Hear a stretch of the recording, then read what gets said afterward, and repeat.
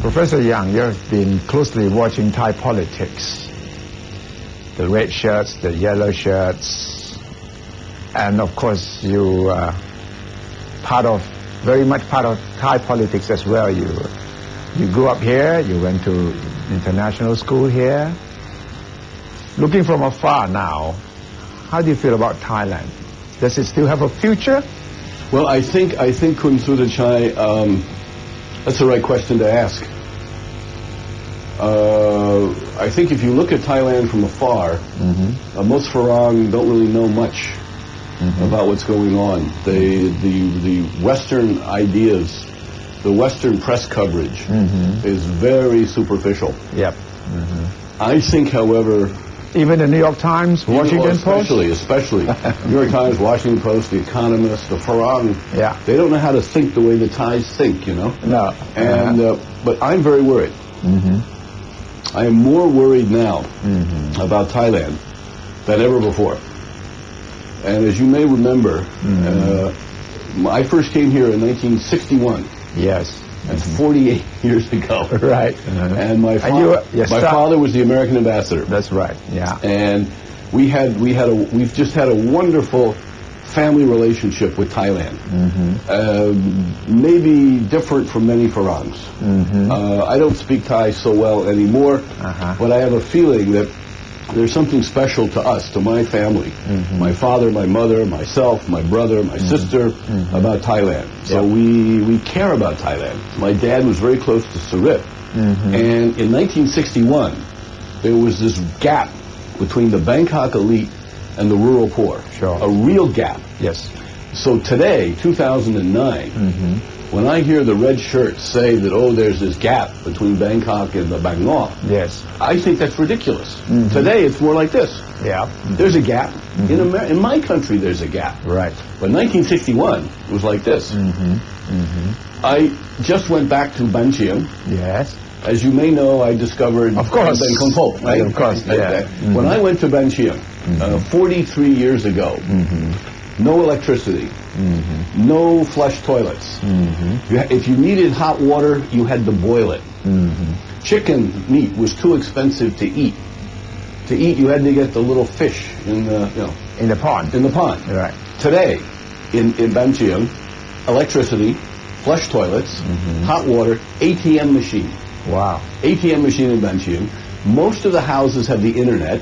Internet Internet. at that time there was no even a telephone No, no telephone. Nothing. You- uh, radios.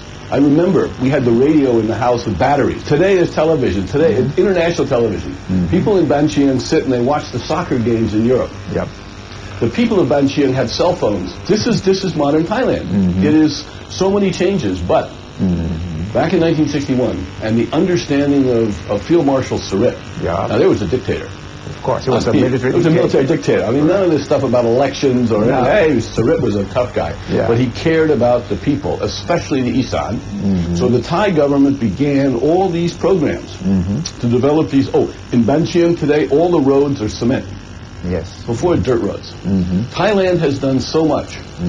Uh, and, and I think in particular, people in Bangkok, the Bangkok elite, in particular His Majesty, mm-hmm. deserve appreciation and affection mm-hmm. for, for what they have done for Thailand. So when mm-hmm. I hear all these strange things about Thailand doesn't have this, doesn't have that, needs to change, needs some intellectuals want a revolution or something. I think this is why. This is crazy. It makes no sense to me. so why do you think there have these rumblings about change about My my feeling is, quite frankly, mm-hmm. that this goes back to the ambitions of one man, mm-hmm. Thaksin Thaksin. Mm-hmm. And I ask myself, why is he such a threat to Thailand? you knew Thaksin before? No, only by reputation. yep. He Thaksin, when I first heard about him, when he bought the, the started the Shin Corporation. yes. What I heard is he's a guy from the police. Mm-hmm. He's a police major who got a contract from the government mm-hmm. for the telephone mm-hmm. after one of the coups. Now, I asked myself back then, it's what, 93, something like that? yes 93? yes How do you get a contract from the government? right What do you have to do to get a contract? And I noticed then Kun Thaksin makes money, he gets more and more wealthy, more and more wealthy, and it's all because he has a government license. He's not out there A monopoly. A monopoly. He's not out there working like like other people. Mm-hmm. He has this monopoly which the government gave him, mm-hmm. meaning the Thai people. Mm-hmm. Represented by their government, gave him an exclusive, elitist, monopolistic, special privilege. This is this is aristocracy. This is elitism. This is not a man who started out a poor worker in the village who worked hard and came up and up. He mm. had some special connections. Mm-hmm, mm-hmm. And I have seen him use many special connections. Mm-hmm. But I have never seen Thai society so divided. Yep. The divisions over the communists were not, the communists failed in Thailand.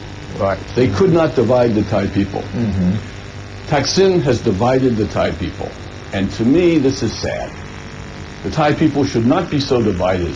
But Thaksin claims that he changed the face of Thai politics. He made the masses, the rural people, speak up for the first time. They, they for the first time found that politics benefited them. They can really touch and consume and eat politics. I think that's ridiculous.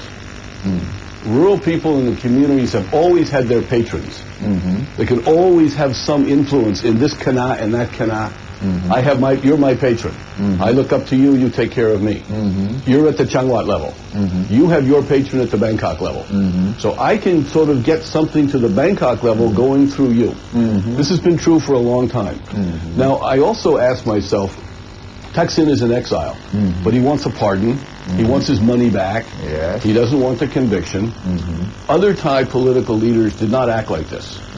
If you, if we remember Thai history, All the way back to Pridi Phnom pre-D, Yeah. the situation changes, he leaves. General Pao, Pao. a powerful police general. Sarit takes over, General Pao leaves, does not come back. Pibun, Pibun leaves, Yep. does not come back. Sarit. Mm-hmm. After Sarit dies, there's an argument about how much money he made. Yep. The government takes the money back. Mm-hmm. The family does not argue. Mm-hmm. Tanom, Kun Tanom lost his money, Right. and he went into exile. So I asked myself, why is this man Thaksin different? Why doesn't he think like a Thai? Why? I think because he's not really, he's not really a Thai Thai. he has other ideas in his head. Yeah. I think so. He does not think Grenjai. Mm-hmm. He does not think Boon and Bat. Yeah. He, did, he has a different. He thinks about how I can, how I could be a powerful man. Mm-hmm. Dr. Ben Huana. Mm-hmm. Dr. Ben Huana Tuktukon. Something like that, right? I want to be the big boss of everybody. This kind of thinking, to me, reflects not Thai Buddhism, but Chinese imperial thinking. Aha. The imperial thinking of the Chinese emperor. He wants to be the boss of everyone. under the, the Chinese theory, mm-hmm. and we can read the books about this. Yeah. And I've studied this a lot. If we mm-hmm. read Han Feizi, mm-hmm. if we read Mozi, we see this thinking. And so when I look at what everything Kun Thaksin does, how he uses government, how he puts his money here, he puts his money there, it's just like Han Feizi and Mozi were writing about Mm-hmm. 2,000 years ago. Uh-huh. Same thinking. Mm-hmm. Now, this idea in China is, and this was adopted by Qin Shi Huang, Yeah. the first man who created the empire. That's Right. Above there is heaven, mm-hmm. Tian, right? Yeah. Underneath Tian, there's one man, Yes. Tian Tzu. and underneath the Tian Tzu, uh-huh. there's you and me and everybody else, uh-huh. called Tian Sha. Sure. Uh-huh. And when Kun Thaksin wants to control the government, uh-huh. the police, uh-huh. the army, uh-huh. the judges, mm. the businesses, mm-hmm. the TV stations, the mm-hmm. newspapers, Uh-huh. that's bringing everything Under him. under him, under the Tinsu. and no Thai leader in history has ever tried to do this. I mean, Right. this is something new and different. Mm-hmm. Therefore, the Thai people are divided over this. Something new has been added by Kun.